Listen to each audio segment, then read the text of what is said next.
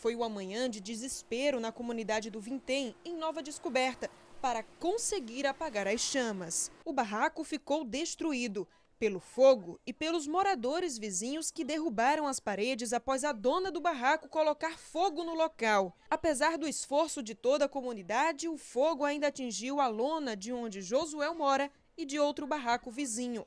Quando viu a fumaça, Josué saiu de casa apenas com os documentos, com medo que o pior acontecesse.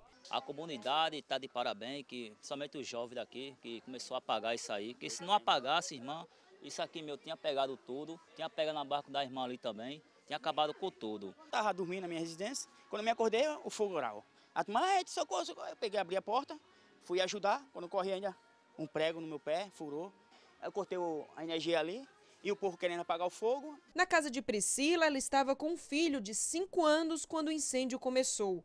As telhas e a madeira ficaram pretas por conta da fumaça. A comunidade existe há mais de 10 anos e os moradores contam que a mulher que provocou o incêndio sempre causa problemas toda vez que ela bebe, ela apronta uma. Não toda vez tocando fogo, essa foi a primeira, mas toda vez que ela bebe, ela apronta uma. Aí ela disse que ia voltar para tocar fogo de novo.